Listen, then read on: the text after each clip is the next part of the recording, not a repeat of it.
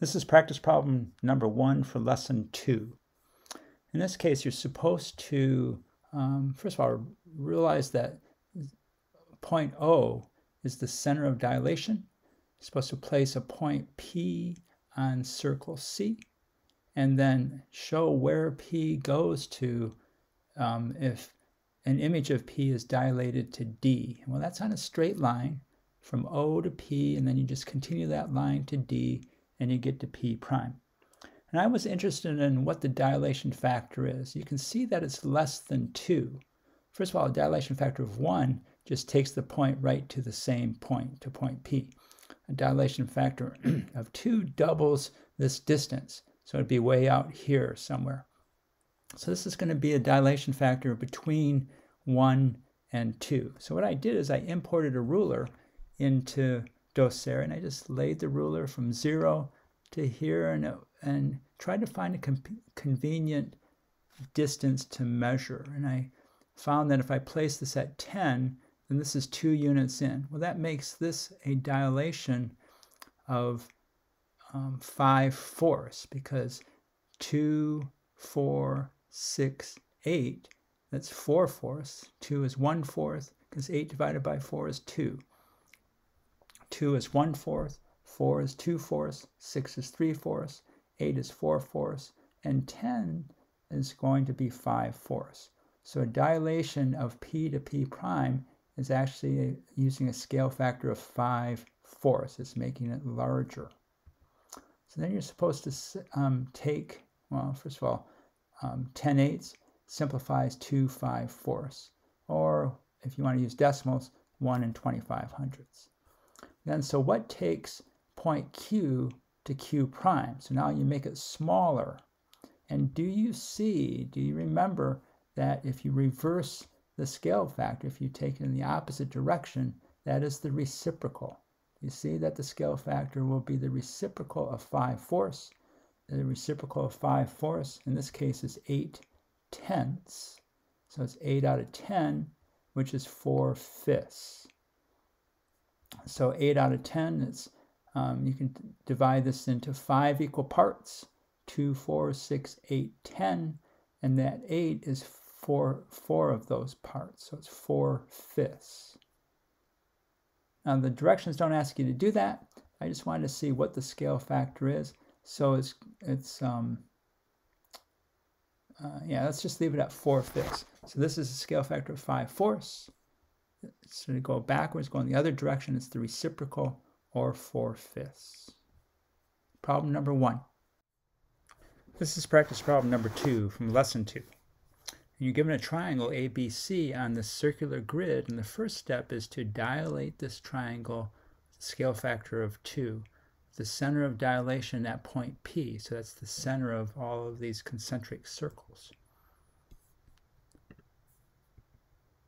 So there's the center of dilation at point P. And if the scale factor is 2, you can draw a line, and actually the line's already here, so you can go out through this line, and you're going to go twice the distance. So B, for example, is being scaled two times. So the distance is 1, 2, 3, 4 units. So it's going to end up being 2 times 4 is 8 units, 5, 6, 7, 8. Point A is 1, 2 units. So it's going to end up being 3, 4 units out along this line from straight line through the vertex from point P, the center of dilation. And C is going to end up being scaled to out to 6 units. Um, 2 times 3 is 6. So scale it out. And um, so place those points and connect them. So this is a scaled triangle. It's two scaled two times on each length, uh, along each length of the original triangle ABC.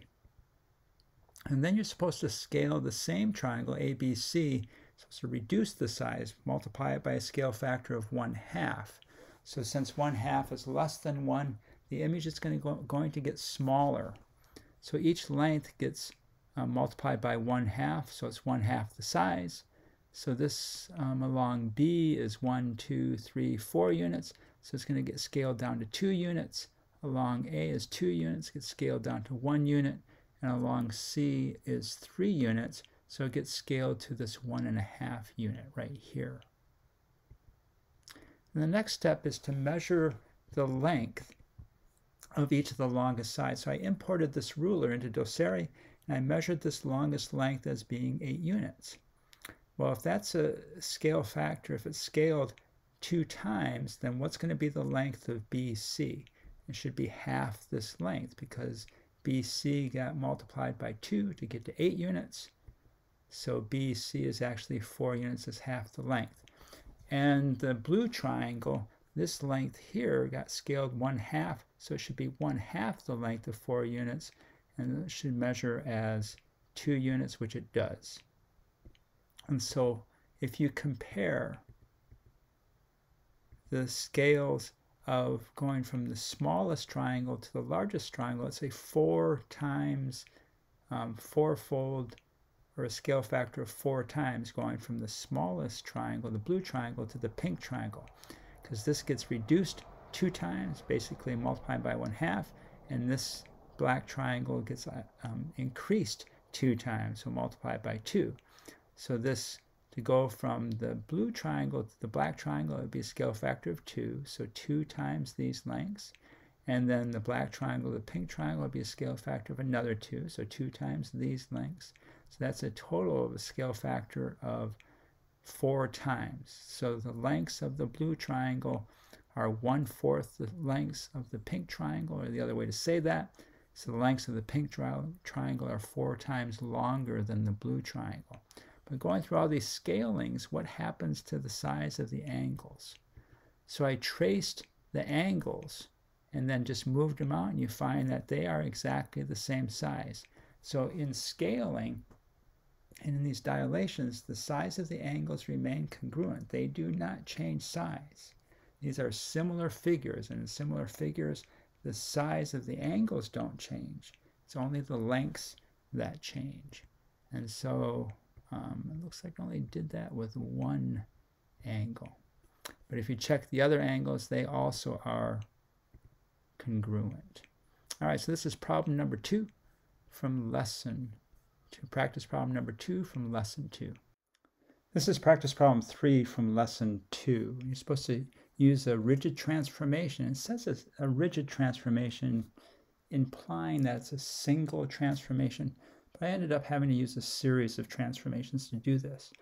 And I had to realize, I had to think about if this was a reflection or a rotation. And you look at it long enough, you can see that it's a reflection because if you rotate, these angles end up in the opposite ends. It just does not work, and it is a reflection. So one way to do this is to translate this image so that this point right here, point A, covers point D. And then rotate it around so that point C then covers point F. So you translate it down to this point and then rotate it so these two sides line up. That way this side is the line of reflection. So it's pretty easy to see then and you reflect it over that line like that. You could all, uh, alternatively, you could just translate this straight down and have point A cover point D and realize that the line of reflection is the perpendicular line that runs down this way. And so the line of reflection is right there. And so you can reflect it over that line. Remember, you're going to reflect it, these points move in a perpendicular direction to the line of reflection, and they're equal distance on the other side. So this point is going to end up in equal distance from the line of reflection on the other side in a direction that's perpendicular to that line of reflection. Same thing with this point to here, and this point's already on the line of reflection, it just stays in the same spot. And so you reflect it over, and it lands, it covers. Um, actually, the word that we use, I haven't used in a while, is maps. It maps to this image. All right, so it is a reflection. I had to use a, a, a translation, a rotation, and reflection, or just a translation and a reflection, depending on which one that you did. This is practice problem number four from lesson two, and they ask The line has been partitioned into three angles, or separated or divided into three angles, and can you make a triangle from these three angles? And of course you can. The sum of the triangles, the sum of the angles of a triangle add to 180 degrees. These three angles add to 180 degrees because they lie along the straight line. So you can take them and form a triangle. So let's do this a little bit systematically. Um, first of all, do they add to 180 degrees? Well, of course they do, but let's check that mathematically. 99 plus 39 plus 42. I just played around with this a little bit. How could I do this mentally in my head?